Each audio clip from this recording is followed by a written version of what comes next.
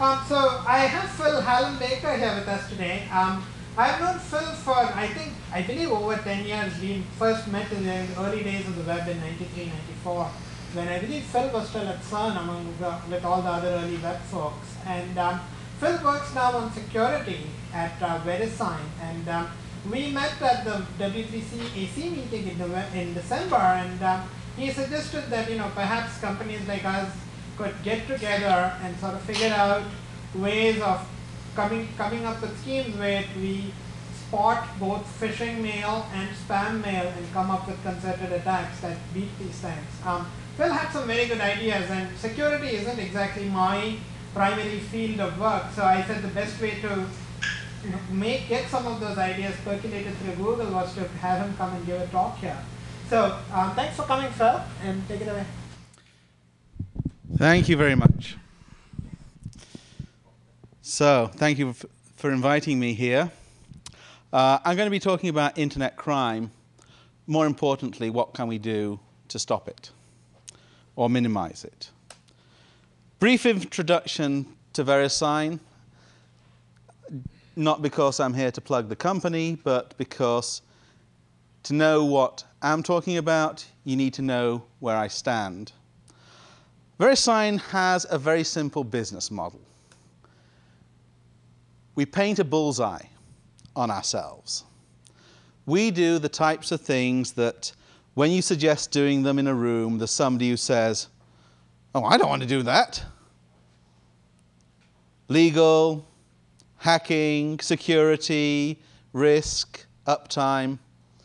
We do the stuff that is infrastructure that just has to be there has to be reliable, has to be dependable. We operate the DNS, the core DNS. We have uh, 32 million names under management, 12 billion queries a day. The peak load is much higher. There aren't many people who do 12 billion transactions a day. We do digital certificates, 400,000 websites. We're also into telecommunications. This is something that you probably aren't aware of because we have a big internet presence. We do telephone switching.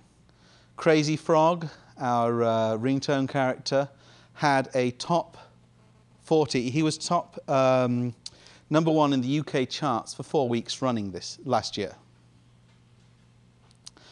What we really do, though, we make ourselves a target so that other people don't have to.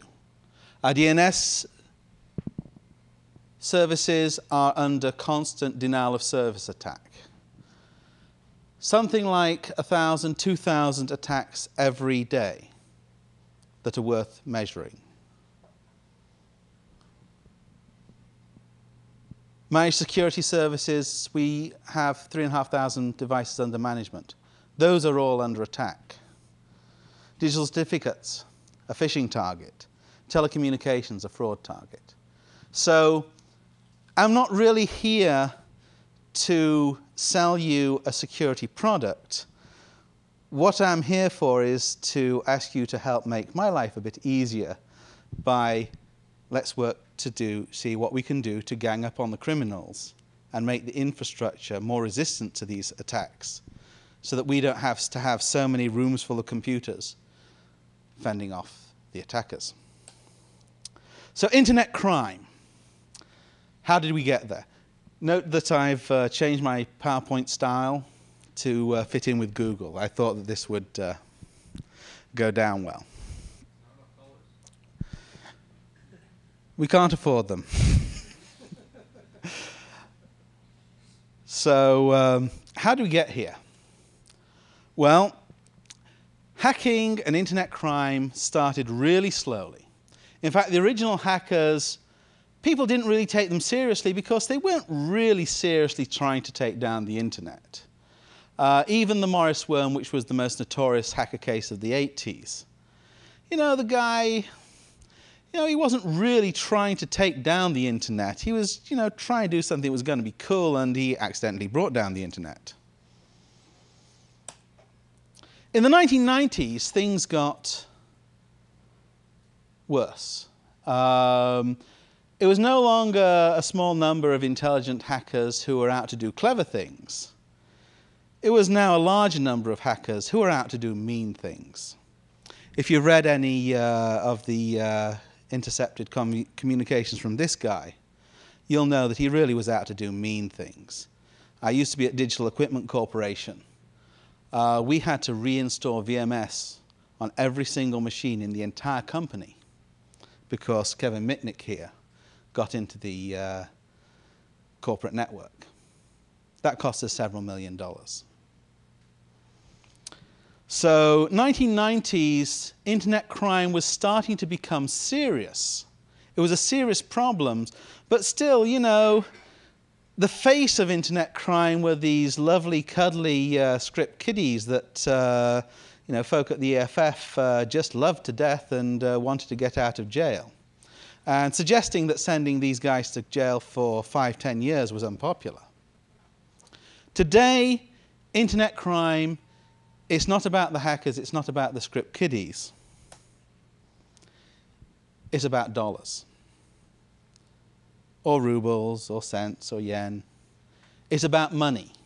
And that's the big change that we see in internet crime. One of the things that's happened, all those teenage script kiddie vandals of the 1990s, the vast majority, they grow up, they get some sense, they get a job, and they stop. One or two, they can't get a job. They don't want to keep on living with the parents, and it's not just for kicks, it's now for making money. This is now their profession. And this is exactly the same thing that you see in traditional crime. Most crime is committed by teenage males. And then when they get to 18, 20, 21, 25, they get jobs and they have to make a decision. I'm going to keep on with the petty crime or am I going to go pro? Most people go straight. Some people make crime their profession. And that's what we're now seeing on the internet. And the worst crimes are now directly caused by that handful of people who've gone pro. So, what are the crimes? Well, there's phishing. I would guess that everybody here gets uh, several of these a day. I get about um, about a thousand spams a day, and about a third of them are now phishing. Important crime. I'll come back to that one. It's also extortion. In the old days, the objective of a denial of service attack was just take the guy's site down. You know, cause some mayhem, cause some misery. Today, what they're after is money. And so, what you see is a denial of service attack against uh, typically an online gambling site, but pretty much any site can be attacked. Uh, anybody here know of the uh, million dollar homepage? That guy has uh, been receiving uh, blackmail attacks from hackers. $50,000 or you won't see your website again. And uh, here we have the Kray twins who were two London gangsters who did the same thing uh, in real space. Uh, they would go up to a, a, business and say, nice business you got here, it'd be a shame if it got broke. And if you didn't pay them, they'd break it.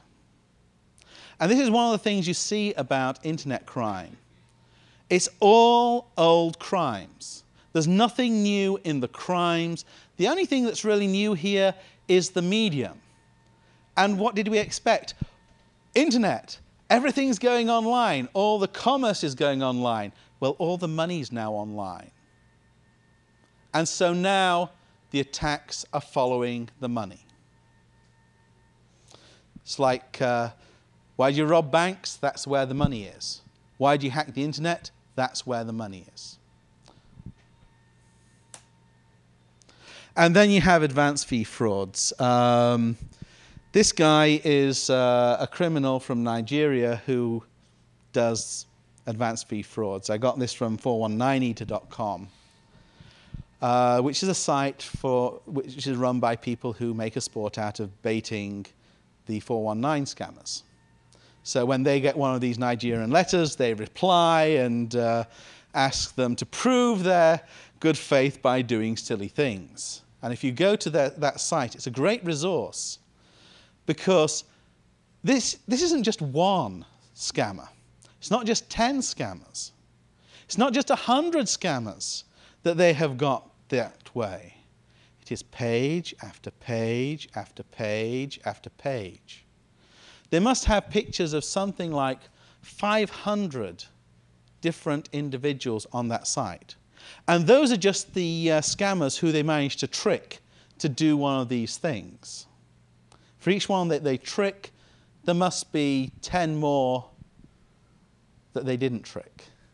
How do you know that's the scammer? Maybe scam somebody else into getting their picture taken holding this sign. Quite probably, but I'm pretty sure that no scammer will be caught more than once or twice or three times with this thing. But another thing that's really interesting when you go to the site, the backdrops are the same quite often. And so one of the things that that's telling us is that this is now a franchise. People aren't making money from the actual 419 scam itself. What they're doing is selling the ability to other people to do this 419 scam. So you have a little franchise industry in Nigeria, and that's the reason why it's so concentrated in that locality. The actual advance fee fraud gangs have new frauds. Um, same basic principle give us some money and we'll give you a commission. Same principle, uh, but a different setting. For example, if you put a BMW, an expensive car or, or motorbike, on eBay, you're likely to get somebody from West Africa saying, hey, I'll buy your bike from you. Here's $50,000. And hit, hit, but I'll pay you $55,000. You pay $5,000 to the shipper. And we'll get a cashier's check. And then the cashier's check will bounce. But after you've paid the money on, thinking that cashier's checks are guaranteed payment. They're only guaranteed against credit risk, they're not guaranteed against fraud. So, and you know, I could go on for the rest of the talk talking about the scams. I could go on for the rest of the day. I've written a book about them. It's about 100,000 words, the manuscript at the moment. It's bad, it's ugly. But what I really want you to take home from this is that this stuff is serious. And these people, I mean, okay, here we're making a joke out of them, but they really are taking people's life savings. And the heartbreaking part of the job that I'm doing is when you find out about 70 year old, 80 year old grandmothers who've been tricked by these groups and send, they've sent them $30,000, $40,000 that they're going to need to eat off. So it's serious, it's real, we've got to get a handle on it. First, let's look at some of the tools that they're using. Because if we're going to defeat the bad guys, we've got to, take a, we've got to look at the tools and neutralize them. First tool is spam. When it started, spam was being treated like as an annoyance. It was something, oh, spam, you know, just get over it, you get spam. And then the volume started to get to the point where email was becoming unusable, and people said, oh, yeah, okay, yeah, you got to do, something about it. I got SpamBayes. I'm okay, I'm not getting any spam. Oh, you're getting spam? Well, that's your, your hard luck. I, I don't get any. Stopping spam is about stopping crime. Spam is the number one vector for internet crime. Every one of these crimes that I'm talking about has spam at some point in their life cycle. The other common feature that we have is botnets. In the old days, the spammers used to actually buy machines and send out, and buy internet connectivity and send out the spam over their internet connectivity. There are a small number of quasi-honest spammers still doing that. Um, you know, these are the people who are selling you the Cialis and so on. So, you know, they're still, still doing illegal stuff. You know, they're still selling you drugs illegally. But, you know, you pay your money and you do actually get the goods. something like 60, 70, depending upon how who you ask, 70% of the spam is coming from botnets, which are machines that have been compromised, turned into a zombie, and here we have a picture of a zombie. So home computers connected to broadband that's been compromised and are now being controlled by the criminals. So this is an even better trick than the old gangsters used to have when they used to steal getaway cars. The criminals use these botnets to hide themselves. They're using the stolen computer instead of the stolen getaway car. But these criminals have found a way of using the stolen getaway car, and the user is still paying for the gas. The owner is still paying for the internet connectivity and the electricity. The botnets, there are various estimates about how large they are. Most botnets that we can trace get into the thousands. Above that, actually synchronizing them starts to seem to become a problem for the uh, herders. But there are certainly herders who have something like 50,000 machines at their disposal. There are a few very large botnets out there. Most of them are smaller. And of course, I talked about spam. Well, spam begets botnets begets spam. They use the botnet to send out spam.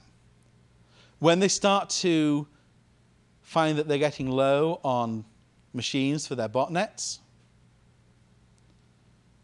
they send out some spam that has Trojans. Or if they don't have the executable in the spam itself, they'll have spam that takes you to a site that will do a drive-by download of some Trojan onto your machine, and that machine has then been captured into the botnet. So spam and botnets, it's a self-perpetuating cycle.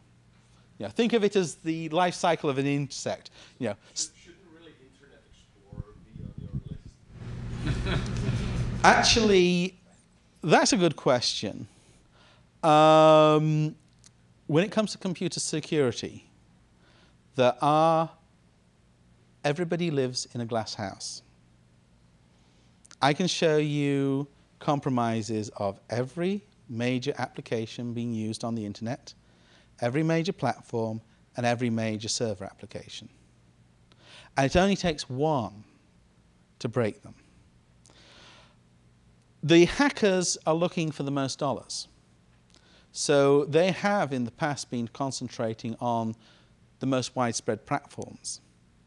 However, as soon as Firefox got up to the point where it was uh, reporting 10% penetration, we started to see attacks against Firefox. So don't mistake not being vulnerable for not being a target. And one of the things that happens here is that security is very much like the problem of the car alarm. You have a car, first generation car alarms, most of them were not very good. Because as soon as you put the alarm on the car, the thieves are going to steal another car. In the days when only one car in 20 had a car alarm, it had to be a really special car before it was worth working out how to undo the car alarm. Now every car comes with a car alarm from the factory.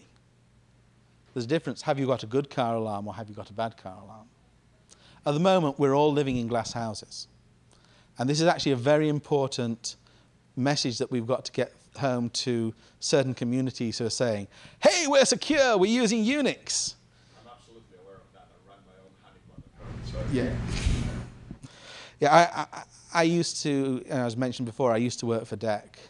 And I remember when uh, Unix started to first appear and started to first displace VMS. And uh, we used to make some comments about security in those days as well. And, uh, you know, didn't really make an effect. Another tool that the criminals have is criminal exchanges. This is a site called carderportal.com. Um, it's Russian. Uh, the the, uh, so the writing there is in Cyrillic. Uh, this actually was traced down to Russia. Um, you know, the motto here, Carders of all lands unite. And they have a picture of Lenin on their homepage. Um, doesn't appear that they uh, spent much of their time in uh, class because that's actually Marx, not Lenin. but uh, we'll give them that. Uh, the hackers use the internet as a collaboration tool. They use it to exchange stolen goods. Uh, Carder Portal was used to uh, exchange stolen credit card numbers. So you have the guy who's doing the phishing and stealing the credit card numbers. Now he can sell those to another criminal who's in the business of carding, making use of those numbers. So these Carder portals have been very important in, in the business of internet crime. And working out how to disrupt these networks is very important in terms of how we deal with internet crime. So, let's take a, uh, a phrase from uh, the uh, opposition's favorite philosopher, well, politician. What is to be done? It's not just about measuring the world, and you know, when you go to the conferences, you know, you can sort of like give a figure like 60% of the spam is coming from botnets, and somebody will say, Hey, are you sure? We're measuring the figure and it's 65. Or, no, it's 62.4. And, well, yeah. We can spend all day measuring the problem and getting really accurate assessments of how bad the problem is, or we can do something about fixing it. So, what's to be done? Well, one, one good one is let's blame the users or user education as it's called. Um, when, uh, when the phishing thing first started, it was very much like the spam thing, and people are saying, hey, the problem is that people give away their credit card numbers on the internet. Just tell them not to do it. Well, okay, you try and tell 60 year old grandmothers that the message that came from their bank with their bank logo looks exactly like the messages from their banks, that takes them to a site that looks exactly like the messages on, on their site, with some JavaScript that pops a little GIF image up, covering up the address bar so the address looks like it's a bank. You tell them to not do something silly. I mean, these confidence tricks only need to work a small percentage of the time to work. So User education does play a part. Explain the scams to people, and people can protect themselves. But we need to do more than just blame the user if we're going to get a handle on internet crime. Blaming the user can't be an acceptable solution. Another option, the law. One of the myths of internet crime is that uh, law enforcement doesn't work. Well, no, law enforcement does work. And if you go to the uh, Secret Service website or the Department of Justice website, they have a running tally of the cybercrime cases that have been investigated and the results that they've got. This is uh, Shadow Crew's website. Shadow Crew was another large card, criminal exchange like uh, Carder Portal. And Shadow Crew was taken down about uh, 15 months ago now. And uh, the Department of Justice has received plea bargains from 15 of the individuals involved, sentencing to take place uh, next month and March. The uh, Shadow Crew site was estimated to have been involved with fraud of approximately $4 million worth and there were several thousand individuals who were associated with that site. So they've got the kingpins, and now they're in the business of rolling up the rest of the organization and uh, making a decision as to which cases to prosecute. It was also an international case. Arrests have 15 arrests in the US, another 18 around the world. Law enforcement from 13 different countries involved. So, the law can be effective.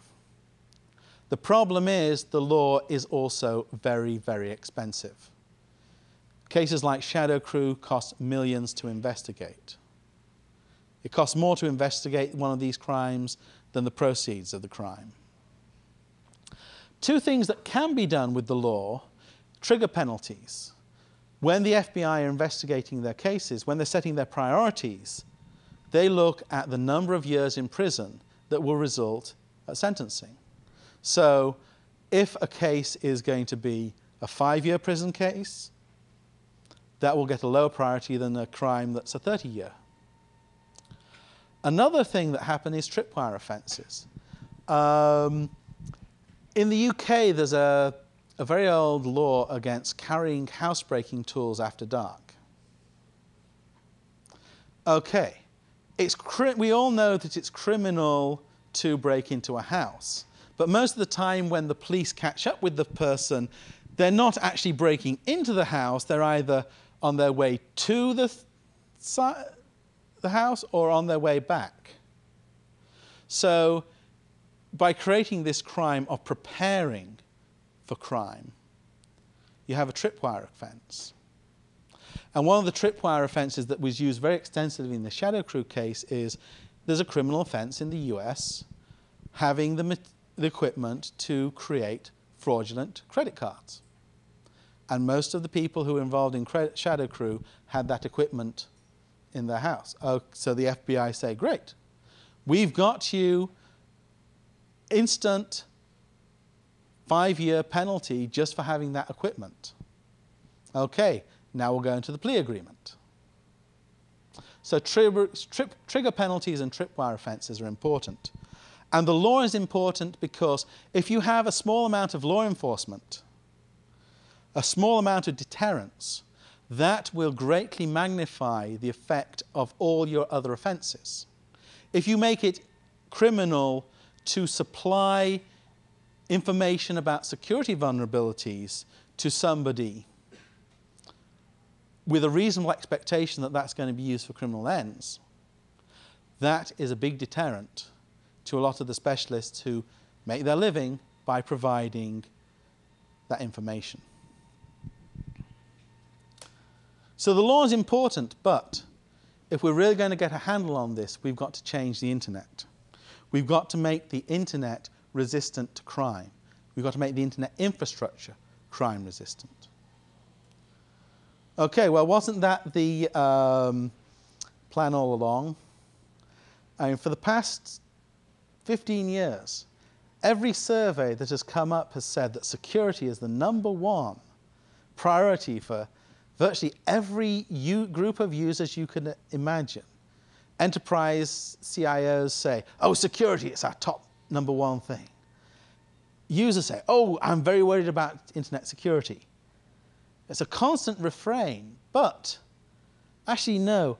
People are concerned about security, but what they really want to do is to get their job done. And the security that's been provided has been of the wrong sort. It's been of the sort of here is a bulletproof vest that you can wear 24 hours a day, just in case somebody might take a pot shot at you. And that's the good stuff. The worst stuff is here's the armored car that you can sit in all day, or here's the bunker that you can retreat to. People, number one priority is always getting their work done. And if you put barriers in between the person and their work that are there for security, they will find ways to evade them. And we see that in every company. You put barriers in front of people, they will work out a way round. So, okay, we're back to blaming the users, but yes, that's not very productive. One of the problems that we had is that the perspective on internet security is very, very much the same perspective that we've had on information security.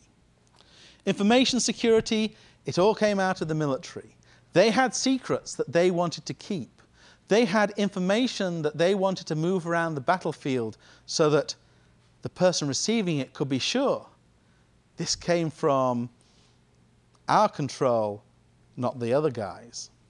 Actually, that's number one use of battlefield um, cryptography. It's not about keeping secrets from the enemy. By the time they've broken the code, the missile will already have landed. The gun will already have fired. What they're really interested in is integrity.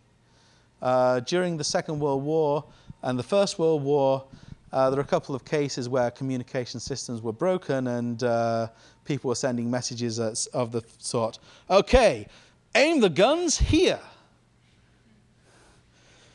you get the idea.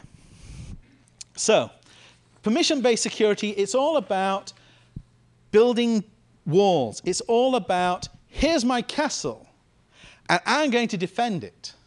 Here's my assets. I'm going to keep control of my assets. I'm going to protect the confidentiality of my information. I'm going to protect the integrity. It's all about building walls. The problem is that works great inside organizations. But when you get to the internet, you've got to go beyond the walls.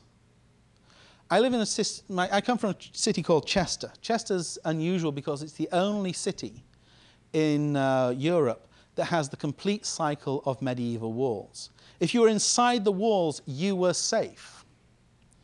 If you were outside the walls, well, you're on your own. Now we're in the internet age, everybody's spending an increasing amount of time outside the walls. We need to make it safe outside the walls as well. So, how do you do that? Well, you got to change the paradigm. The way that you that England was made safe beyond the walls was by introducing police, introducing people who would investigate crimes and create a reasonable expectation that if you did crime, you would do the time. If we abstract that principle, it's all about accountability. If you do something bad on the internet, you have to be held accountable. If you want to do something that requires a privilege, a permission, a use of resources from somebody else, you're going to have to establish your bona fides and prove, or at least establish to the other person's reasonable expectations, you're not going to abuse that trust. So accountability is a three-phase, three-pronged approach. Authentication, know who you're talking to. Accreditation, know something about them. Doesn't need to be very much. If you look at Slashdot, Slashdot is just the same as any other blog. It just happens to have, what is it, quarter of a million registered users these days? Slashdot's comment system isn't very much different from the rest of the blogs. The difference is that you've got a reputation that follows you around. And if you start doing silly things like putting graffiti onto other people's comments, your reputation suffers. You suffer consequences. So that's the third tier authentication, accreditation, and consequences. And that's the way that you put security systems together to work in the internet as opposed to within the castle. Within the castle, permission based security is king. Outside the castle, you need to have accountability because you're not going to know all the bad things that could happen to you in advance. And you certainly aren't going to be able to create a list of them and type them into a computer in a form that the computer can understand. The way that you keep social systems stable is accountability. Okay. How can we add that to the internet?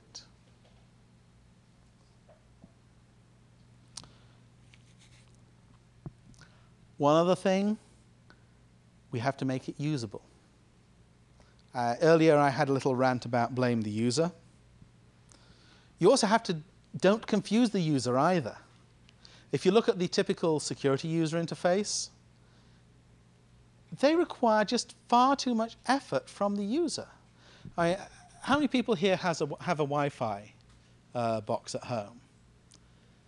How many people have encryption turned on? How many people spent more than an hour getting their encryption system to work right and reliably? Yes. I especially like the bit on Windows XP when you're typing in a code that's an, essentially an authentication code, and you're having to type it into this box. It's a 128 bit key. You're typing it in a hexadecimal into a box that doesn't show you what the key is and then you have to confirm it. It's an authentication. Can't the access code point tell you? Uh, I'm, I'm not going to go there because my blood pressure Okay, how are we going to get a handle on phishing? Phishing is due to two failures in the world around us, two security failures. One is insecure credentials. You can't steal a password if the password changes every time you use it.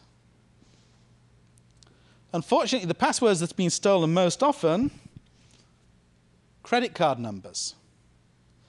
The early credit card, the early phishing fraud actually was because of an even worse problem that's now been fixed, so I'll mention it to you. And that was if you had this credit card number and you had a bit of computing power and a bit of ingenuity, you could work out what the ATM pin was. Yeah. The uh, credit card, the uh, ATM systems interface security was designed in the 1960s and was not particularly good. So there's credential theft. We can introduce trust, sorry, we can introduce trusted credentials, I'll get to that. But the other thing is the impersonation of a trusted party, impersonating the bank. So phishing is about the credential theft, it's about impersonation. So let's go through those in turn. One solution is theft-proof credentials. This is an oath token, and this is my authenticator for inside VeriSign. It's a PKI token, so I can plug this into the laptop and that'll allow me to log on to the VPN for the corporation, it'll allow me to read my encrypted mail, it'll allow me to sign my mail, etc., etc. You can't always connect up via USB. Sometimes you're typing something into a web form, sometimes you're accessing external application. If you press the button on this, and it's saying wait now, a new one-time password comes up every time the button is pressed. Now, one-time password tokens have been around for about 20 years. 20 years is significant here. 20 years is the length of time that a US patent lasts. And the idea of Oath, which is an initiative that VeriSign has been spearheading, um, is to have an open standard for authentication tokens. Uh, before Oath, these were $45 per user per year, and they were being used exclusively as an enterprise security device for a select number of enterprises. You turn it into a commodity standard, you make it non-proprietary, you allow any manufacturer to uh, ma make them. Unfortunately, these are, in my slide, are all branded with VeriSign, but Aladdin make them, Gemplus make them. All the card, almost all the card manufacturers you can imagine are making these tokens or are part of the Oath initiative. So that's one thing.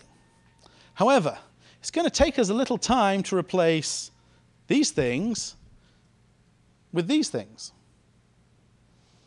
I mean, at some point in the future, I believe that you will have your credit card and there will be a little window and there's some electronic ink and you'll press it and a new number will come up each time. But it will take us an awful long time to change that infrastructure.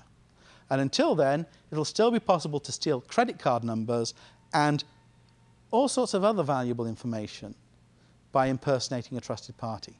So we have to close both loopholes. We have to make the credentials theft-proof, but we've also got to stop people being able to pretend to be anybody who they choose on the internet. All right, it's all right to be anonymous.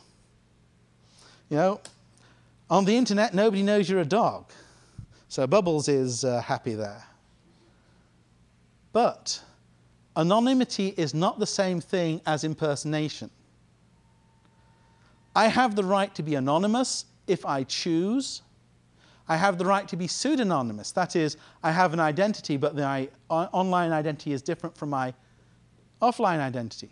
What I do not have the right to do is to pretend to be Citibank or Bank of America or Microsoft or uh, anybody else. I don't have the right to impersonate. So how can we establish a system that will allow us to authenticate ourselves securely? And this is a CAN demo. It doesn't actually have code behind it. I prefer not to have to write code behind it, but it demonstrates some of the features that I think could be put into security schemes and how simple and how usable we could make a security interface. So this is Vmail. And imagine that this is the first time I'm coming to, my, to this site. I'm going to come to Vmail, and that's going to be my portal to my existing POP3 or IMAP mail account out there in the Ethernet. So I'm going to type in, or rather, Alice is going to type in her email address.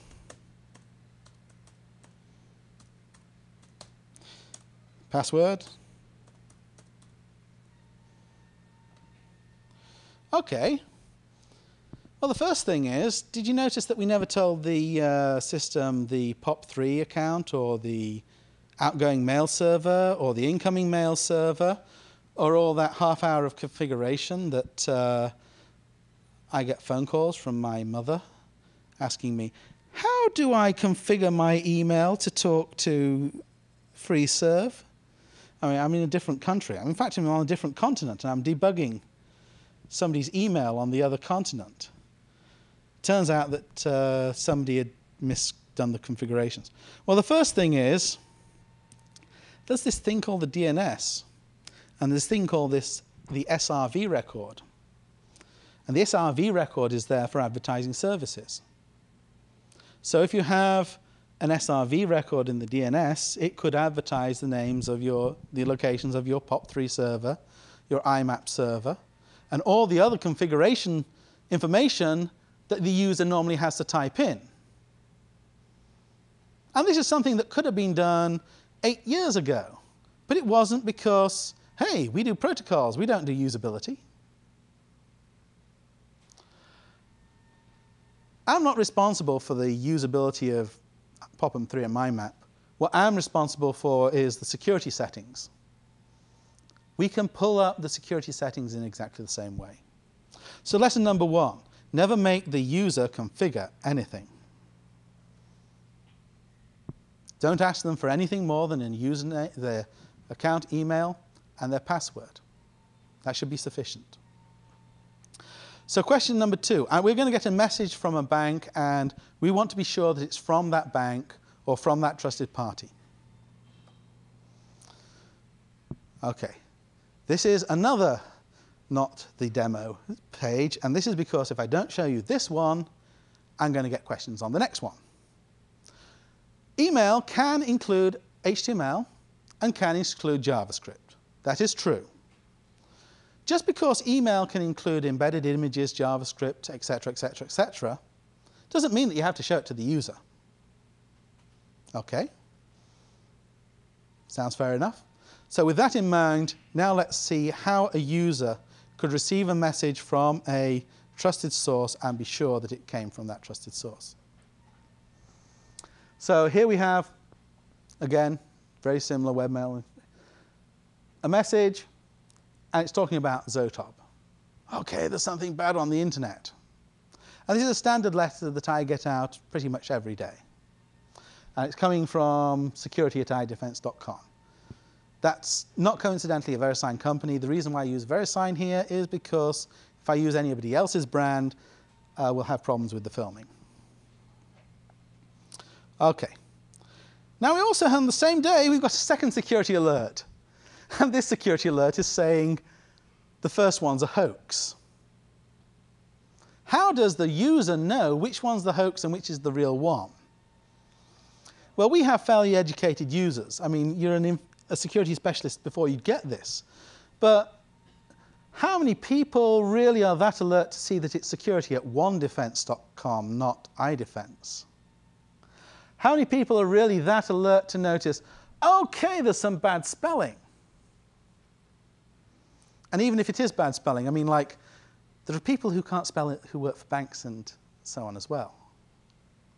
So this is the traditional, pro, you know, we've got this email and we just don't know whether it's genuine and whether it's false. Okay, so the technology that we could use here called a digital signature. And we can sign the message and we could use S/MIME and we could dis distribute it securely. The problem is, how does the user know from first glance that this message is genuine and not a spoof? And what we need to do is to have a user interface that is so transparent that people start to pick up the security user interface without having to read the manual on what the security user interface does. So what I've done in this one is that if you look in the top right-hand corner, we have the logo, iDefense, okay? And the way that we've done this is if we click on this, it'll bring up a little panel, it'll tell us something about it. So what happened here was that this message was signed digitally using the do domain keys identified mail email signature standard, or sorry, specification. DKIM is a signature specification that I believe Gmail has been applying to its outgoing mail for some time, uh, originally developed by Yahoo and Cisco and VeriSign, Microsoft's uh, SendMail, PGP. Pretty much everybody in the security world is part of that um, effort and is backing this specification. What we've done here is that we've added, we've taken the domain key spec and we've extended it so that you take the domain key signature from the DNS and you can verify the signature. And then that rec the record that gives you the key in the DNS also gives you some information to say, hey, I got a digital certificate and I've proved that I really am who I say I am to a certification authority. In this case, VeriSign, but there are other various uh, authentic certification authorities in existence in a competitive market, you know, free market rules. And that certificate also makes use of an extension to the X509 specification that is an IETF standard called the logo type extension, and that contains the iDefense icon. So the upshot is that when I get the signed DKIM mail message, the client can show me that icon in such a way that I can be sure it really is from iDefense. And if it comes from if a mail came from somebody else with the icons in it, the icon could not appear in the Chrome. It could not appear in that security bar. It would appear in the body of the message. So you've still got some ability to do some user confusion. However, we now have a very tight way of saying, if you see that message there, for the first time we can say you can actually rely upon this message coming from who it says it is. And at the moment, we have not got that in email, which is really quite amazing. I mean, like, public key cryptography has been around for a quarter of a decade. There have been four different IETF working groups that have reported back who've been developing security for email. We're just starting a fifth one. But this would be the first time that we'd be able to uh, know with confidence that this mail really did come from who it said it.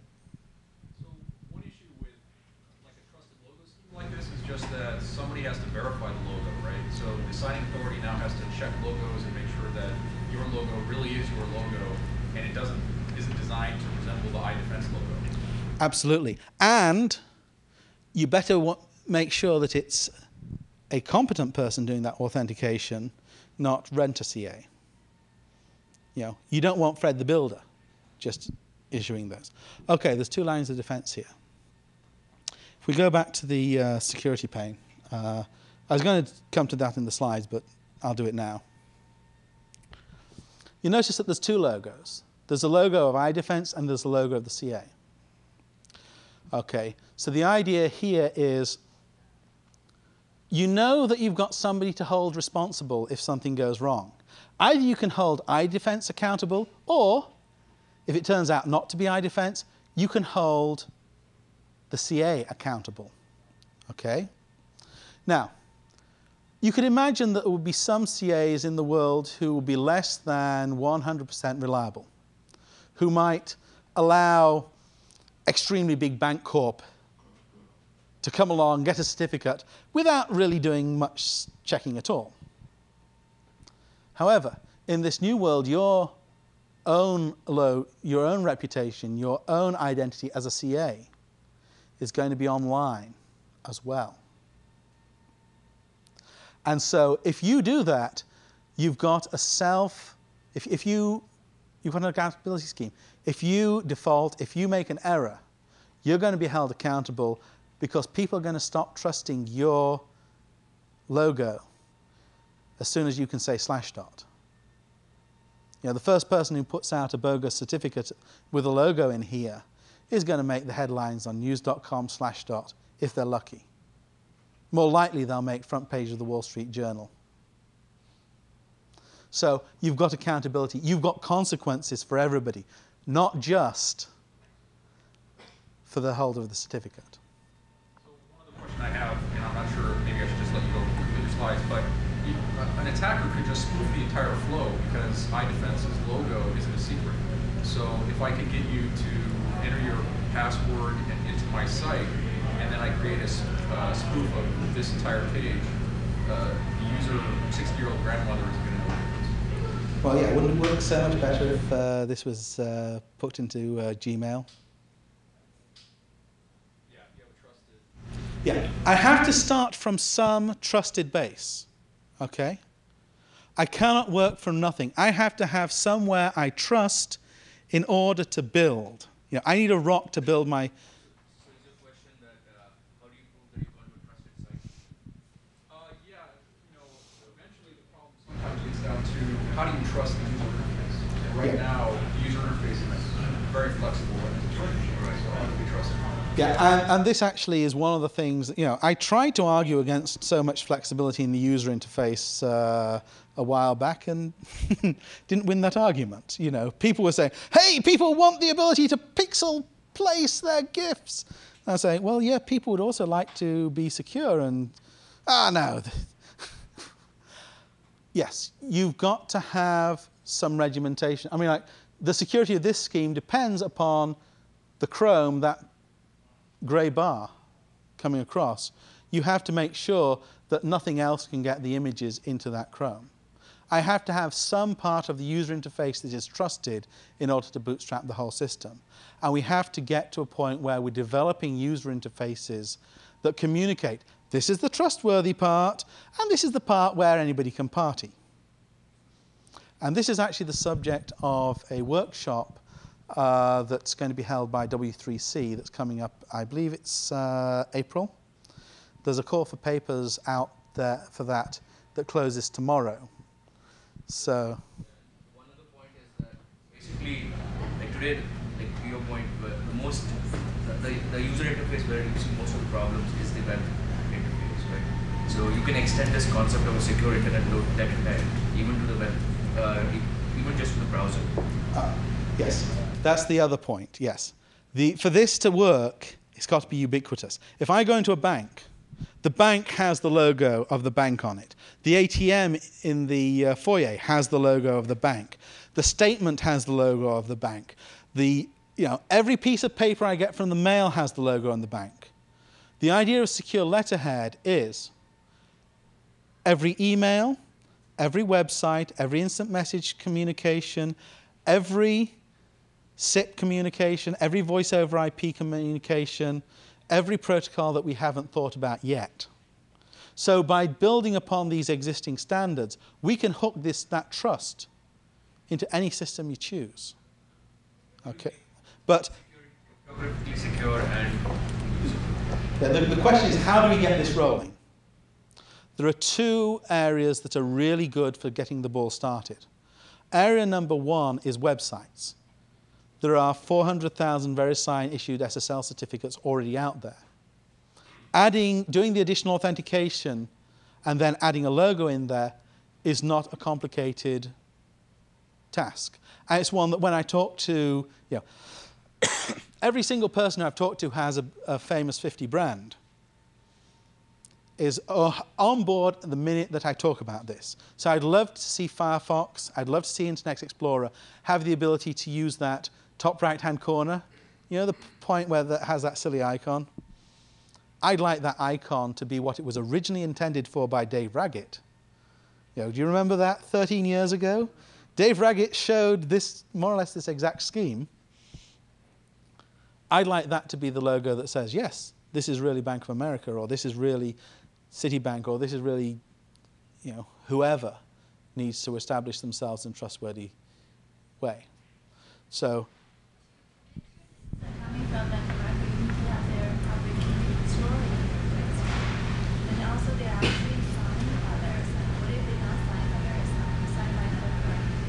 Uh, they would, well, uh, actually, we should, we should uh, remove the uh, brand. The trusted bank, trustedbank.com, is going to have to be authenticated by a certification authority. And that certification authority is going to need to meet a certain bar of trustworthiness. And that's another part of this problem uh, that is partly underway. I showed you the feedback system. The other thing will be uh, high assurance criteria. There's an organization called WebTrust that you have to get audited by to uh, become a CA. The problem with WebTrust is that the criteria for becoming WebTrust audited is, are not very high. You say what authentication you're going to do, and they check that you do it. You don't have to say that you do very much. And that's why there are now certificates around there where the only thing that's been ch checked is the domain name. Now, domain name only certification is perfectly viable. We do it ourselves on the Thawte brand. We don't do it on the VeriSign brand, but we do have a label we, that we use for domain only certs. It prevents DNS attacks. It provides you with proof that it really is the other party's public key. So there is value there. However, if I'm going to hand over my credit card number, if I'm going to interact with the, this person thinking that they really are who they say they are, I want to have more authentication. I want to be sure that it really is that bank, that owner of that logo. And there are ways that you can check for that. For example, uh, registries of trademarks. If, if somebody's using a logo to represent themselves, they should at least have a trademark application in on it. Now, you could have a fraudulent application. However, if we've got an address where a legal process can be served and the crooks give it to us, well, we'll send the FBI around or the Secret Service or whatever, and we'll deal with them that way. So, yes, it's a very important question. Uh, I believe it is soluble, but I don't want to get into the uh, 10 year history of CA services. Okay. Actually, this is my last slide. Uh, this demo actually also has, as well as having the email signatures, it also has uh, transparent encryption built in. So you can receive encrypted messages and send encrypted messages without the uh, pain that uh, certain user clients put you through. So I just, just wanted to mention that. So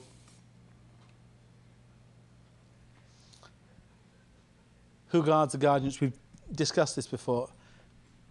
It's not just about making the party you talk to accountable. The trust providers must also hold themselves accountable. I think that that's what's wrong currently in the SSL world. And that's it.